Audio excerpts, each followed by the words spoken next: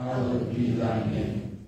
Thy kingdom come, thy will be done, on earth as it is in heaven. Give us this day our daily bread, and forgive us our debts, as we forgive our debtors. And lead us not into temptation, but deliver us from evil. For thine is the kingdom, and the power, and the glory, forever and ever. Amen.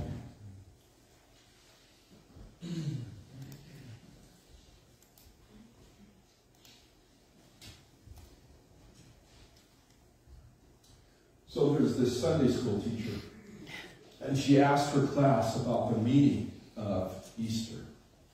One child raised his hand and said, That's when we shoot off firecrackers and celebrate our freedom. And one little girl said, No, that's when we eat turkey and give thanks. I know, another child said, that's when Jesus comes out of the tomb. But if he sees his shadow, he goes back in.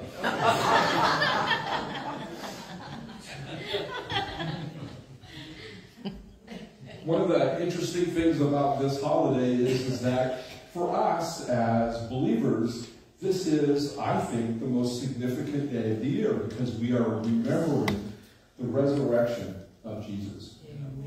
We're the only religion, by the way, that believes that our founder, our leader, is actually still alive. Amen. Most religions, that's not true. That's true. But in the world, there's a lot of misunderstanding, a lot of wondering or trying to make this into something maybe that it's not. Celebrating life in a certain way, but we're not celebrating just life in general. We're celebrating the fact that a little over 2,000 years ago, a man died, was buried, and then rose again to new life. And that's just different than ever. I mean, nobody, I mean, really, if somebody, if I came to you and said, yes, last Friday I died and went in a tomb and here I am standing before you this morning, you wouldn't really buy into it. The reality is, resurrection doesn't happen very often. In fact, only happened once. Permanently. So this morning, what we're going to do is spend some time talking or reading through a passage of Scripture where 2,000 years ago, the Apostle Paul was writing to a church, and this church was apparently having some misunderstandings about the resurrection. Well, what does all this stuff mean? What, is, what does it matter? Things like that. And so I'm going to read a lot of the Bible today, like 700 verses. No, I'm just kidding. I'm not going to that. But it's going to feel, no, I won't even feel. You're going to be so interested by it that it's just going to come. So if you have your Bible and you want to look, we're going to look at 1 Corinthians chapter 15. And we're going to read through it, and then I will just, we'll just talk about how important the resurrection is. Last week, when we talked about Palm Sunday, we talked about how important the cross is, because the cross is important. The forgiveness that provides, the grace that that shows. But Today's the resurrection, which makes everything that we talked about last week, it completes it. Lots of people have died for other people over the course of history. But only one rose from the dead. Permanently. 1 Corinthians 15, starting in verse 1, says this. Now, brothers and sisters, I want to remind you of the gospel I preached to you, which you received and on which you have taken your stand. By this gospel you are saved, if you hold firmly to the word I preached to you. Otherwise, you have believed in vain. As we go through this chapter, Paul's going to return to that idea about vain, empty.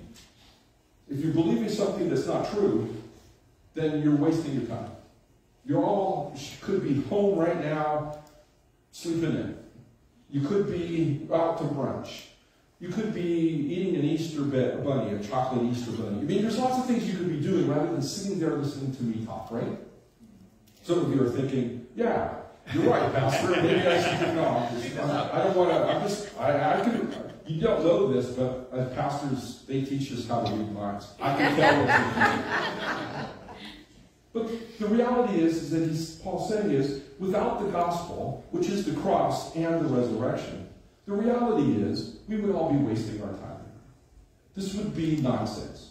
It, it would be, your faith would be in vain. And so this is where he starts with this story here. The resurrection is important. Now, this is what he's going to say in verse 3. For what I receive, I pass on to you as of first importance, or as I like to say, as, of, as the main thing. That Christ died for our sins according to the scriptures, that he was buried, that he was raised on the third day according to the scriptures, and that he appeared to Cephas and then to the twelve. So Paul says, here's the gospel. You want to know what the gospel is? First importance, the only thing that matters, the foundation on which everything is built. Jesus died, he was put in the tomb, and he rose again three days later. And people saw him. Now, when we talk about the resurrection, we're going to talk about a little bit more in a minute about what that exactly means, but just start with the understanding that we're not talking about some spiritual or something which wasn't a ghost, his spirit didn't come to people. No, people saw him. They touched him. They ate with him. He touched them. They were interacting with a person, not with a spirit, not with a ghost, not with a, some idea. No, this was a person who died and then rose again. As Christians, as followers of Jesus, we believe this. Amen. Amen. Amen. Three of us believe this. no, I mean I'm just picking on you, but no, there's this. This is the foundation for it. A lot of times we do kind of run into Christians who think, well, Christianity is really about loving your neighbor, or it's about about some feeling good, about sharing things, about giving to the poor. I mean, there's other things, but what Paul says is this is the main thing. This is it. This is what makes us Christians. This is what makes uh, what we believe uh, help us and strengthen us. Going on in verse 6, he says, he, in verse 5, he had said that he appeared to Cephas, and the Cephas is uh, the other name for Peter. So Peter, and then to the 12. And then in verse 6, it says, After that, he appeared to more than 500 of the brothers and sisters at the same time, most of whom are still living, though some have fallen asleep. Fallen asleep there means they died. Then he appeared to James, who's his brother. Then to all the apostles, all these other people. And last of all, he appeared to me also as to one abnormally born.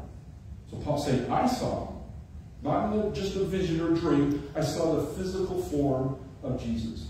If you add up all those numbers in there, there's a lot of, and I'm not going to do the math today, but there's, he says 500, and then he lists 12, and then he says more apostles, and he says, so over 500 people saw Jesus walking around on the earth. Not a spirit, not a ghost. They saw this person who had died and was buried, and now he's walking around talking to people, touching them, they're touching him it actually physically happened. It wasn't just a magic trick, it was a resurrection, a bodily, physical resurrection. Verse 11, we're going to skip some of the substance because he kind of goes off into a little testimony here, but I want to orient more on the resurrection. So, verse 11 says, Whether then it is I or they, this is what we preach, and this is what you believe. This is what makes us brothers and sisters in faith. Because we believe the same thing. This is a required. You have to believe that Jesus died and rose again in order to be a follower of Christ. That's where it starts. This is what we preach. This is what you believe. This is what we do. This is what makes, no matter what else we do, what kind of music we like, what translation of the Bible we read, even what day we worship on. All of those things are secondary because the only thing that's important is, is that do you believe that Jesus died on the cross for your sins and then rose again a few days later? That's the, that's the foundation of the whole thing. And it's everybody. So I want to start off by saying this is not Paul's gospel. The resurrection of Jesus is preached by all the apostles. So it's for all, it's all of us. That's why we can sit here in this little town on the coast of Oregon and celebrate and rejoice in the resurrection of Jesus, while at the same time, people on the East Coast, people in South America, people in Asia, people in Africa, doesn't matter where we are in the world, we are all brothers and sisters in Christ because this is what binds us together. This is the main thing. I haven't said this for a while. I'm only saying this because Eric's here, but because he, this is his favorite thing. But this is this is that. There you go. The main thing is to keep the main thing the, main, thing. That's the yeah. See, see, they know it, right? We know it. So this is the this is that's why today and this last past week is the most important time for us as Christians. Because this is when we remember these things and focus on these things. So this is what we're going to do. Now, we're going to go now. This it's really weird because a lot of times we think of the old church like those people back there that Paul preached to. They're all saints and their faith is strong and they understood everything there was to know about. And, and you know what? Look at what verse 12 says. But if it is preached that Christ has been raised from the dead, how can some of you say that there is no resurrection of the dead? See, sometimes we think those kinds of questions came up just recently. No, right from the very beginning, people were saying, well, the resurrection, I don't know. Yeah, I know, Paul, you saw him, and Peter saw him, and all those other apostles, and five, over 500 people saw him, and they're all saying they see Jesus. But you know, really, really? resurrection, I don't know. That seems like a step. That's, that's hard to believe, right? But that's true from right from the beginning. It wasn't something that everybody just bought into. Why? Because people then understood that dead people don't come back to life. They don't. Unless God does something to re-resurrect that person. And so there are people at the time, Paul says, who are preaching that there is no resurrection. Now, they're primarily talking about, as we're going to see in a minute, they're primarily talking about us, that we don't rise from the dead. But Paul's going to say, well, if we don't, then that means Jesus doesn't either. And then we're back to, well, let's see what he says in verse 13. If there is no resurrection of the dead, then not even Christ has been raised. And if Christ has not been raised, our preaching is useless, and so is your faith. More than that, we are then found to be false witnesses about God. For we have testified about God that he raised Christ from the dead, but he did not raise him, if in fact the dead are not raised. For if the dead are not raised, then Christ has not been raised either. He's going to keep saying that, by the way, until you get it. and if Christ has not been raised, your faith is futile and you are still in your sins. That's right. Then those also who have fallen asleep in Christ are lost. If only for this life we have hope in Christ, we are of all people most to be pitied. And there are people in this world who look at us and they pity us. Because we, in their minds, we're believing in something that's a waste of time. That's not true. In fact, not only that, but I'm standing up here before you and I'm lying through my teeth because, and I'm misleading you or whatever. This is, this is what people who don't believe in Christ think of you all sitting here on a sometimes sunny, sometimes rainy Sunday morning, but when you could be doing other things. Look at the word he uses, useless, uh, pity, uh, pitiful. In fact, if there is no resurrection of Jesus, then our faith is, according to Paul, useless, futile, and pitiful, since it is based on a falsehood. That's why we have to believe that Jesus rose from the dead. Because if not, none of this matters. None of this is, makes any difference. That's why the resurrection is important. Because like some people do believe, well, Jesus, yeah, he, could, he gave his life for us, and I get the sacrifice, and he paid the penalty for sin. But if there's nothing after that, then that means the sacrifice wasn't accepted by God, and if it's not accepted by God, then we can't apply it to ourselves, and as Paul says, we're still in our sins. Our problem hasn't been fixed. The problem is still there. And so we're faced with that. So, I'm going to uh, just stop for a second and say that the, when we think about the resurrection, there are three things that um, are, are evidence that the resurrection is real. Okay? So the resurrection of Jesus is based on, one, it's based on the teaching of Scripture about the character and promises of God. That's one of the things that we, when we've been going through the minor prophets, that's one of the things that we see. That God, when He judges sin, there's something after that.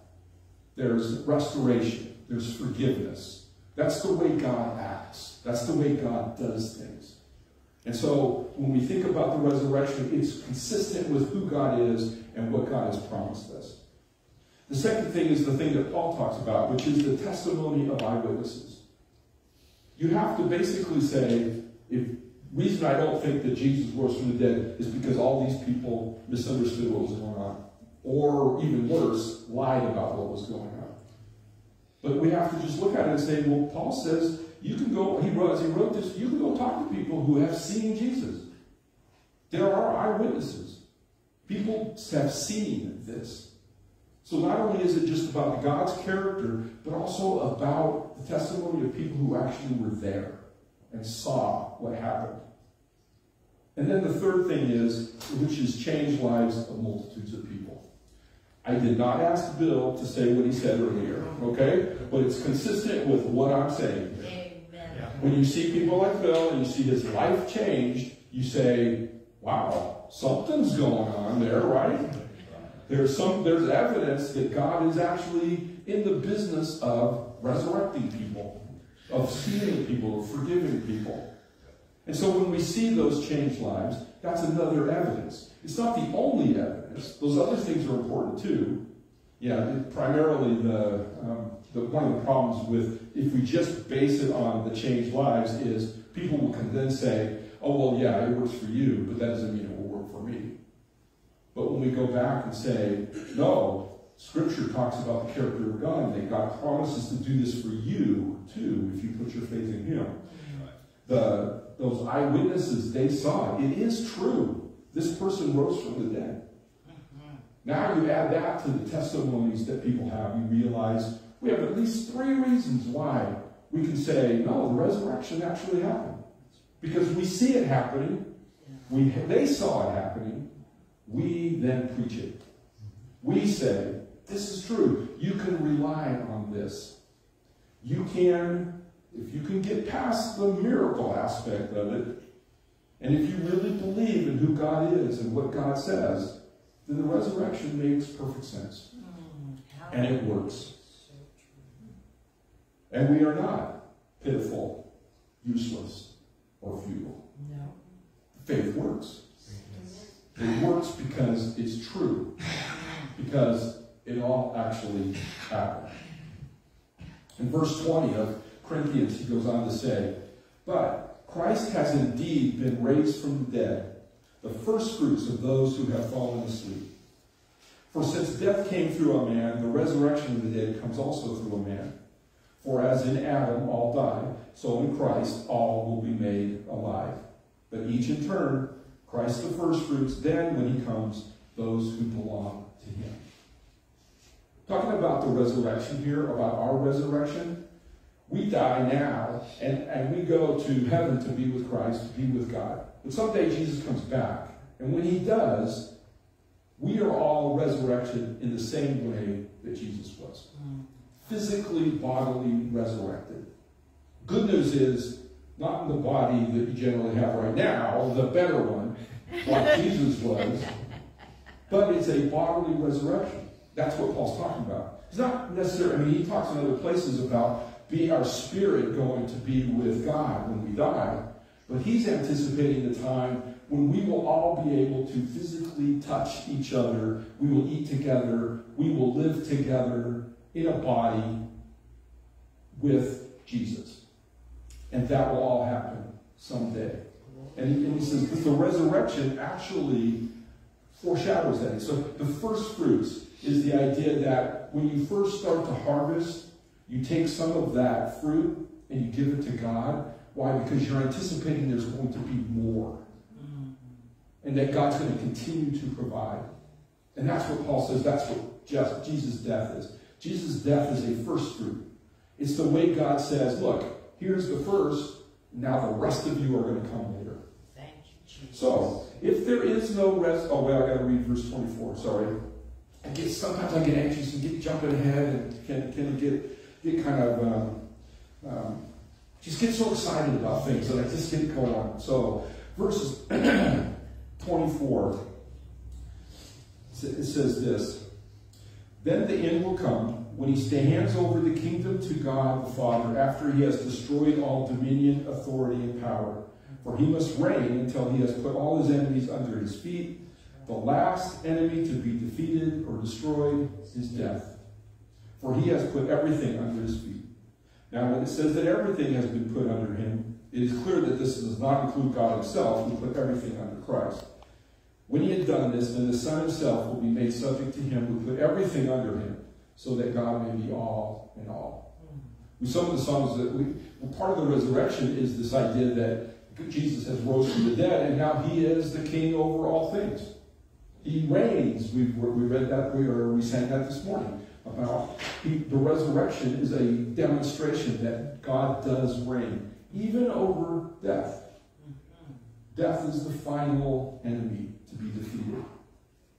So when we talk about this if there is if there is no resurrection of Jesus, then we have no hope for our own resurrection. That's what Paul's saying.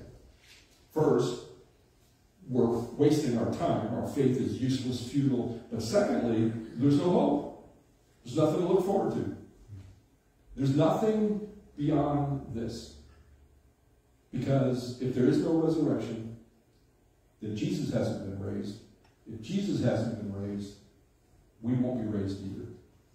We face eternity, nothing for eternity, basically. So there's this um, story about some fellows who were uh, stationed in Korea during the Korean War, and while there, they hired a local boy to cook and clean for them. Uh, being a bunch of jokesters, these guys soon took advantage of the boys' night. They smeared Vaseline on the stove handle so that when he turned the stove on in the morning, he'd get grease all over his fingers. They put little water buckets over the door so that he'd get deluged when he opened the door. They even nailed his shoes to the floor during the night. Day after day, the little fellow took the brunt of the practical jokes without saying anything. No blame, no self-pity, no temper tantrums.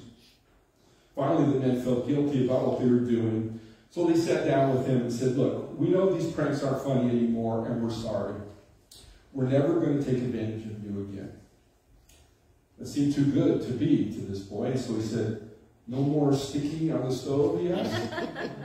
nope. No more water over the door? Nope. No more nail shoes to the floor? Nope. Okay, the boy said, No more spit in soup.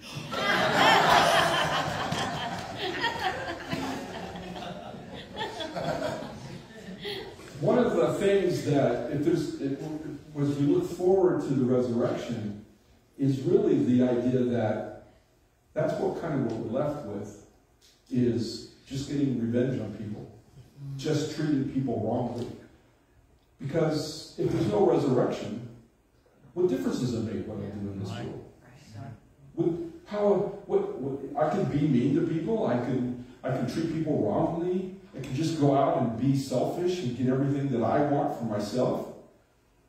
There's no resurrection. There's nothing after this. So why, what, what, what, why wouldn't I, in fact, do that? And so that's what Paul turns to next in verse 29. He says, Now, if there is no resurrection, what will those do who are baptized for the dead? If the dead are not raised at all, why are people baptized for them?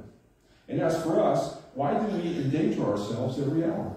I face death every day. Yes, just as surely as I boast about you in Christ Jesus our Lord. If I fought wild beasts in Ephesus with no more than human hopes, what have I gained? If the dead are not raised, let us eat and drink, for tomorrow we die. Now, some of you, or as soon as I said baptism of the dead, you stop listening and you're thinking, well, what is that? What's going on with, okay, well, this, the honest answer is we're not really sure totally what he's referring to.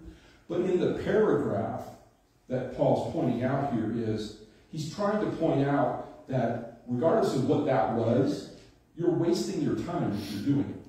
Because the dead aren't raised. There's no resurrection. It's the same thing with preaching the gospel.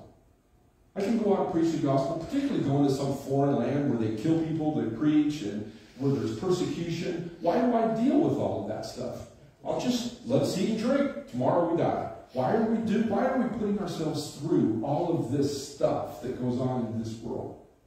Forgiving people who then treat us wrongly again. Acting, being, trying to be giving to people, but they just take advantage of it and steal the money. Whatever it is, there's just so much trouble in the world. Isn't it? Wouldn't it be better if we just went into our house and just stayed in there, kept everything for ourselves, never shared anything, just keep it? Now, if there's no resurrection, why wouldn't we do that? Why would Paul says, why would I face? He says he talks about wild animals here. It's it's um, possible that what he really means is people that have gone kind of crazy on him and persecuted him. Um, Ephesus had a big riot while he was there, and they were really people were getting ready to kill him. And so, so Paul says, why would I? Why don't I just go home to Tarsus and just stay there? Why would I go face all this stuff? And why would we do some of the things that we do if there's nothing past here? In fact, this is one of the this is possibly one of the problems that we have in our world right now, in our country, because people don't believe in resurrection. They don't believe in God. And all of a sudden, anxiety, selfishness. Shouldn't I just get everything I can get for myself now? If I don't face God, if God isn't rewarding those who put their faith in Him, why would I? Why don't I just go do all these other things? And suddenly we've got divisions and dissensions and arguments and fighting back and forth. And it's going to get worse. Which is why we pray that people would put their faith in God, trust Jesus. Because it's really the only way that's going to, otherwise, it's just going to keep going the wrong way. One way to put it is, is this. If there is no resurrection of Jesus, then our service to God and others is foolish. Doesn't make any sense. I started this sermon off by saying, what are you doing here? Sunday mornings would be a lot easier if I could just stay home and watch baseball or football or whatever. Or go play golf. Or go out to breakfast. Or go but instead, you give up all of that to come here and listen to this guy standing in front of you and just yammering away and all the stuff that he says. But hopefully, you're saying, no, I'm here because I believe in the resurrection. And I want what God is offering me. Amen. I want what God is doing in my life. I want Him to help me with my problems. I want him to heal me. I want him to fix my life. I want him to do all those things. And because he has done those things, I give up my mornings to come out and praise God with these brothers and sisters, with these people that this has happened to their life also. And so we don't say, let us eat, drink, for tomorrow we die. We can say, let us eat, drink, for tomorrow we will be resurrected. Let's celebrate that, right? Let's rejoice in that. Let's be happy about all of those things. I was um, reading this uh, description of Jesus, and maybe some of you have heard it before, it's, it's gone around, but it says, talking about Jesus, and here's a man who was born in an obscure village, the child of a peasant woman. He worked in a carpenter shop until he was 30. And then for three years, he was an itinerant preacher. He never wrote a book. He never held an office. He never even owned a home. He never had a family. He never went to college. He never put his foot inside a big city until the death. He never traveled 200 miles from the place where he was born. He never did one of the things that usually accompany greatness. He had no credentials but himself. He had nothing to do with this world except the naked power of his divine manhood. While still a young man, the tide of popular opinion turned against him.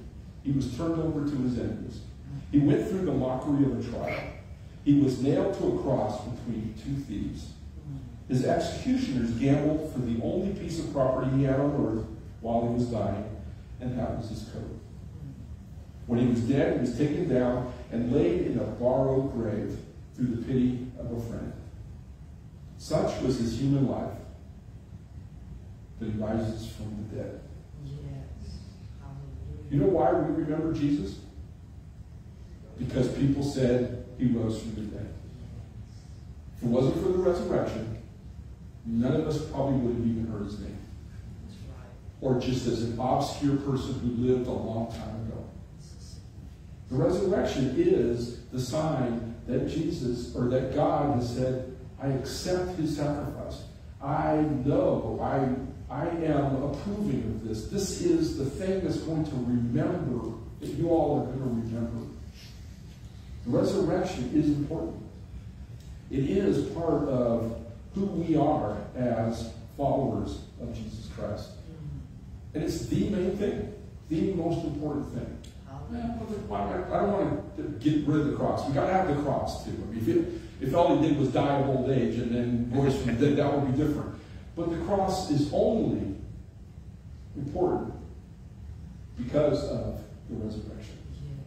That's the only reason it is. Without the resurrection, there were thousands, millions of people crucified around the time of Christ. Mm-hmm. But we only remember one of them That's right. Because he because he rose. rose from the dead. Amen. Have I said it enough yet? He resurrected. I'm trying to get, I'm trying to use the word resurrection like 14 times in the sermon. Hopefully I did that. Because it's the thing that matters. Jesus at one point was, um, in his, before his crucifixion, he was talking with a family, and that family was facing the fact that um, their, these two sisters, their brother, had died. And while Jesus, so Jesus shows up after he died, he's already been buried. And Jesus is talking to Martha, one of his sisters. And he says, Jesus says to her, I am the resurrection and the life. The one who believes in me will live, even though they die. And whoever lives by believing in me will never die. Do you believe this? Yes, Lord, she replied. I believe that you are the Messiah, the Son of God, who is to come into the world. Amen. Jesus point blank says, I'm the resurrection. Do you believe in life after you die? She says yes. But this is the question that Jesus confronts us with. At some point, many people will look at Jesus and they'll read the Sermon on the Mount or some places and they'll say, well, yeah, he was a good teacher or he was a morally good person. And it's really unfortunate that he got caught up in the politics of the time and was killed. And, but he's just a good teacher, a good moral. And Jesus says, no, I didn't. I, that, as true as all that stuff is, it's not what matters. What's, what confronts us all is the realization that this man died for us Mm. and then rose again. And Jesus is asking you, I am the resurrection and the life. Do you believe this? That's the main thing. It's the most important question that anybody ever faces in their life. Do you believe it? Are you willing to have your life changed? Are you willing to be a different person? Are you willing to anticipate that the things that you do in this world are important? Why? Because you're going to stand before God someday. And God's going to ask you, do you believe this? Did you believe this? Do you want life that I'm offering? Do you want it? That's really what I think faith comes down to. Are you willing to live the way that God wants you to, to show that you really do believe it. A lot of times we say, oh yeah, I believe it. Then as soon as you walk out those doors, somehow the world just kind of takes over and you just kind of live the life you've always lived and nothing really changes and everything keeps going. But believing in something and putting your faith in it means you're saying, Yes, God, I want you to change, and I'm willing to do whatever it takes to receive that change, to be that change, to live that new life. And that's what Jesus says. Do I am the resurrection of life? Do you believe this? Just want to remind you of the if there is no resurrection, if there is no resurrection of Jesus, then our service to God and others is foolish. If there is no resurrection of Jesus, then our faith is useless, futile, pitiful, since it is based on falsehood. If there is no resurrection of Jesus, then we have no hope for our own resurrection. But Jesus did rise from the dead. And so our service to God and others is not foolish. In fact, it's the most wise thing any of us could do. If there's no, if there is, since Jesus is resurrected, then our faith is, our faith is useful, and it's important, and it's, it makes us into better people Thank you, Lord. because it's based on truth. You, And if there is, and if Jesus is has risen from the dead, then we have all reason in the world to put our hope in our own resurrection. Amen. Amen. Amen. Praise the Lord. Let's bow our heads in prayer.